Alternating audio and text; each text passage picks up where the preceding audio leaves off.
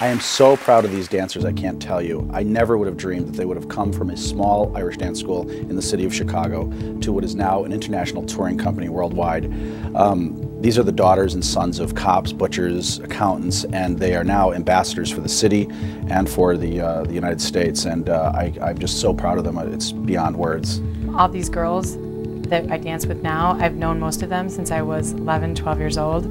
So we grew up um, taking Irish dance lessons together. And because of that, there's a special bond that is between all of us. Irish dance is really similar to gymnastics or figure skating. When you grow up, you go to competitions and it's a competitive thing. So Mark Howard was our coach. One, two, three, go, boom. We all admire Mark and what he has accomplished himself and what he has helped us accomplish. Um, he's very disciplined and I think he's taught us a lot through the years about discipline and about respect and just simply about believing in ourselves and what we can accomplish and what we can do. And one, boom, good. Let me see that thing up there. Mark Howard is uh, a, a wonderful man, a kind man, a generous man, whose creative abilities are almost unexplainable. You know, he's just, he's able to bring out the best in people, uh, not only physically as a dancer, but uh, emotionally too. I was born in England of Irish parents, and at the age of two came over on the Queen Mary ocean liner. And frankly, I thought that every child in Chicago grew up being an altar boy and uh, taking Irish dance lessons and voting Democratic. Uh, but uh, one of my vivid, most, most vivid memories early on was my mother dressing me up in the Irish kilt, which uh, my local friends would call a dress, and having me go down to St. Ignatius Parish um, one mile each way every St. Patrick's Day so that I could be paraded from one room to the next wearing the kilt so I could Irish dance for everybody and I could hear the, uh, the knuckles cracking in the back of the, the room. and uh, when I'd go to recess, of course, I'd be in a lot of fist fights and then I'd have the, you know, heck beat out of me all the way home. And when I get home, my Irish mother would tell me, um, well, you know, if that's the way they behave, they're not your friends. And I'd be like, you think?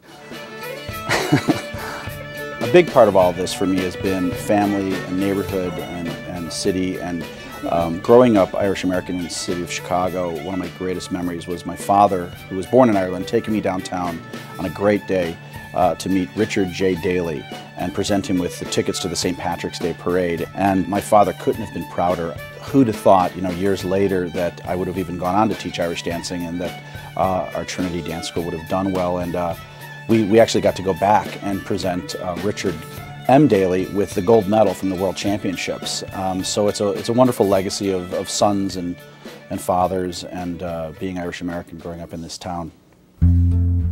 Very early on, I just had a dream to be a, an Irish dance teacher in the city, and at age 17, I had 25 kids in a park district somewhere in the Northwest Side.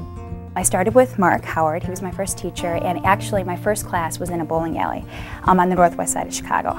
And to be honest with you, I had no talent whatsoever. My feet were complete, completely pigeon-toed, whereas in Irish dancing, just like ballet, it's supposed to be turned out from the hip, so I really technically had very bad form. But um, I remember him having a conversation with my mom, saying, you know, she needs a lot of work on her form, but she does have the potential, and I think she has the heart. So um, throughout these years, he's been so encouraging and just really kind and really there.